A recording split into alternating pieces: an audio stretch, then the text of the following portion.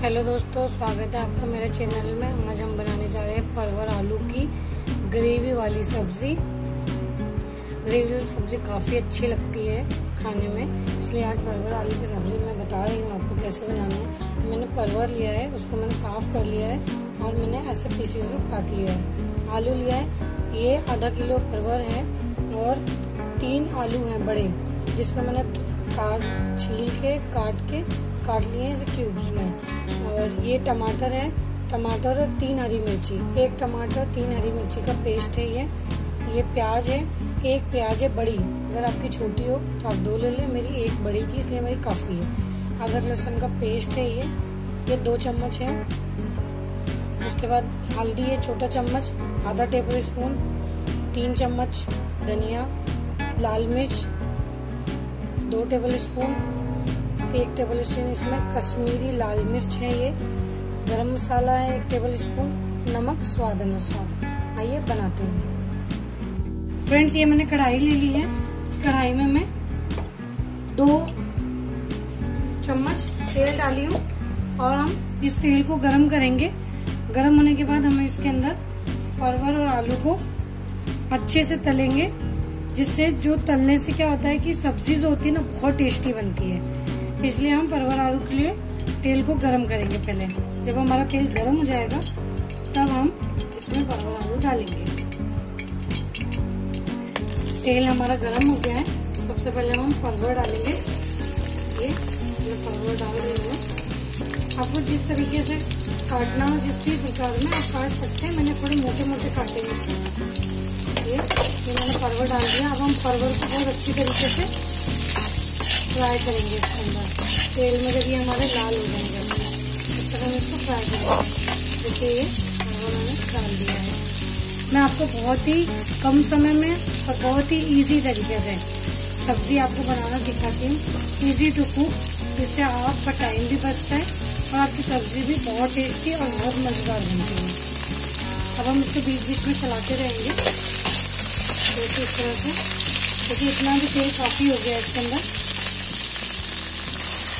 Friends देखिए। इस तरह से हम चलाते रहेंगे बीच बीच में। देखिए इस तरह से। देखिए, हल्की हल्की सी है हल्की हल्की सी कलर चेंज हो रही है, बिल्कुल। तो देखिए, हल्का हल्का सा कलर चेंज हो रहा है। तो अभी हम इसको। और थोड़ी देर इसी तरह से थोड़ा और लाल करेंगे। देखिए अभी ये लाल हो गई है। इस तरह से हमको इसको लाल करना है। अब हम इसको निकाल लेते हैं। अब हम इसी तेल में आलू को डाल देते हैं।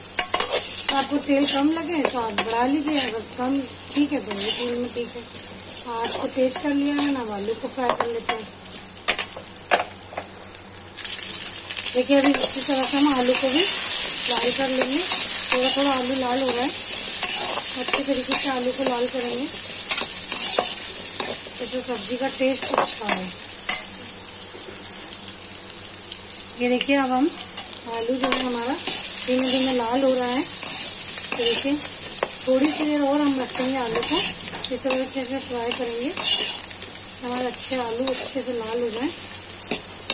चलाते रहेंगे। इस तरह से आलू को हमको लाल करना है। ये आलू हमारा हो गया है ऑलमोस्ट हम इसको निकाल लेते हैं। देखिए, हम लोगों के आलू एकदम तैयार हो गए हैं लाल लाल अब हम इसको निकाल लेते हैं। अब इसमें दोबारा से तेल डालते हैं। एक चम्मच। ये मैंने तीन अपने हिसाब से, अपने जो चम्मच होते हैं, मैंने उसको तीन चम्मच तेल डाला है। अब तेल को हम लोग गर्म करेंगे। तेल हमारा गर्म क्योंकि कढ़ाई कढ़ाई हमारी गर्म है, इसकी वजह से हमारा तेल तुरंत गर्म हो जाएगा। ये मैंने तेज पत्ता डाला है तीन।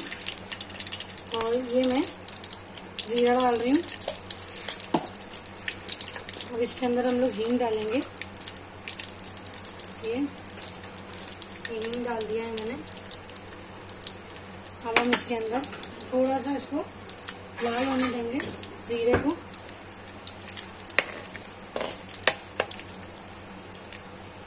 ये जीरा हमारा लाल हो रहा है, हमारी हींग हो गई तेज पत्ता हो गया हमारा।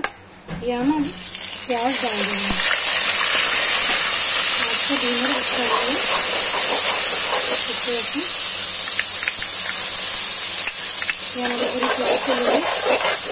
हम थोड़ी सी देर दो से तीन मिनट प्याज को भूनेंगे।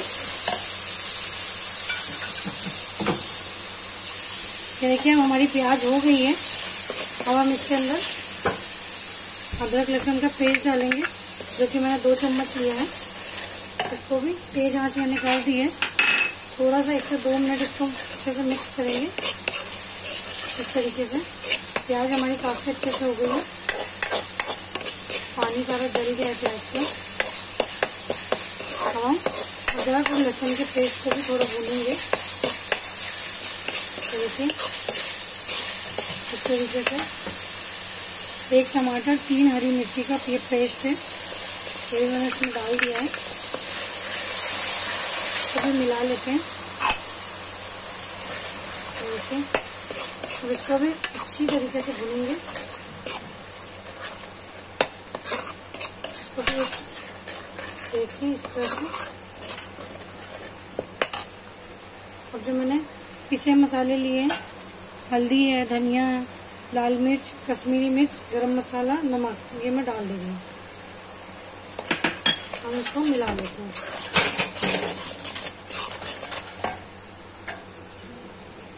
देखिए, इस तरह से हम लोग भून रहे हैं इसमें मसाले को।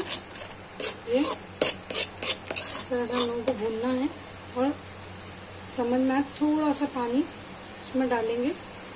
ऐसे फिर हम इसको भूनेंगे।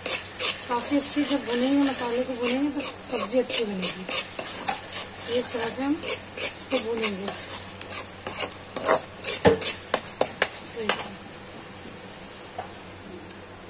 ये देखिए, हमारा मसाला हो गया है। ये देखिए, तेल हमारे साइड साइड आने लगा है। अब हम इसमें सब्ज़ी को डाल देते हैं। सब्ज़ी के साथ जो हमारा तेल भी था, वो भी इसमें चला गया, इसलिए हम लोगों ने कम तेल डाला था। इससे कि तेल सब्ज़ी में ज़्यादा ना आए। ये हम मिक्स कर देंगे। सब्ज़ी और मसाले को मिक्स कर रहे हैं हम। इस तरह से तो मिक्स करेंगे। देखिए मिक्स हो गई सब्ज़ी। अब एक तो एक से दो मिनट के लिए हम सब्ज़ी और मसाले को भूनेंगे।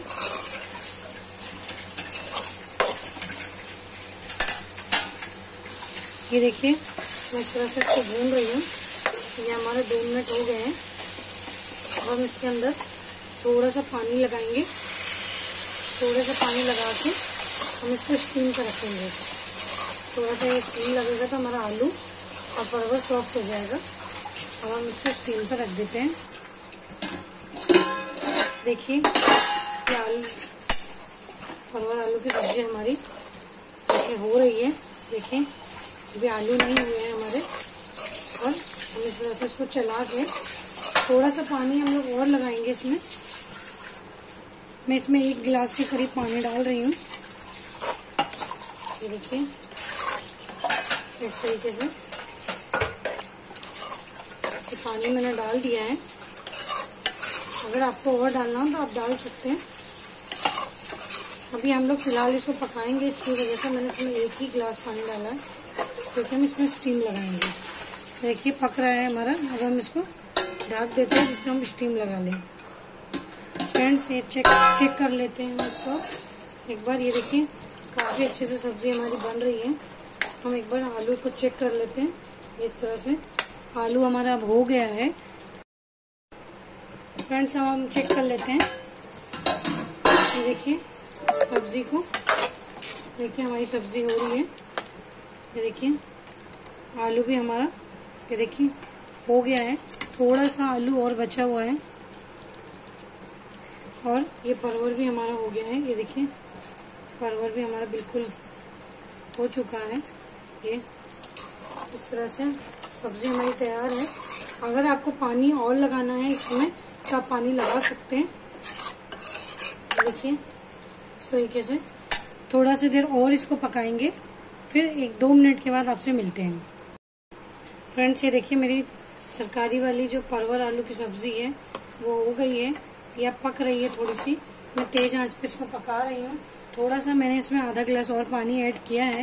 ये देखिए, जिससे ये थोड़ी सी और पतली हो जाए, क्योंकि इसमें ग्रेवी कम हो रहा था। ये देखिए, ये पक जाए। इसको पकाएँगे हम दो से तीन मिनट के लिए पकाएँगे। फ्रेंड्स ये देखिए, मेरी सब्ज़ी ऑलमोस्ट तैयार हो गई है। काफ़ी अच्छा इसमें, देखिए तेल भी आ गया है और काफ़ी अच्छी ये सब्ज़ी हो गई है, आलू हो गया है, इसका दिख रहा है ये। आलू भी हो गया परवर हमारा हो गया है। अब हम इसको सर्विंग बोल में सर्व कर लेते हैं। बिल्कुल रेडी हो गई है हमारी सब्ज़ी। अब हम इसका गैस फ्लेम ऑफ़ कर देते हैं। फ्रेंड्स देखिए मैंने सर्विंग बॉल में सर्व कर दिया है। ये हमारी परवर आलू की ग्रेवी वाली सब्ज़ी तैयार है। इसको धनिया के साथ हम गार्निश कर देते हैं। हम धनिया डाल देते हैं। देखिए फ्रेंड्स ये बहुत ही इजी तरीके से मैंने परवर आलू की सब्ज़ी आपको सिखाई है बनाना कि किस तरीके से बनती है। आपको ये वीडियो कैसी लगी, ये आप मुझे कमेंट्स बॉक्स में बताएँगे। कमेंट्स करेंगे आप। आप लाइक करें शेयर करें सब्सक्राइब करें। आप मेरे फेसबुक को ज्वाइन कर सकते हैं इंस्टाग्राम ज्वाइन कर सकते हैं मुझे। Thank you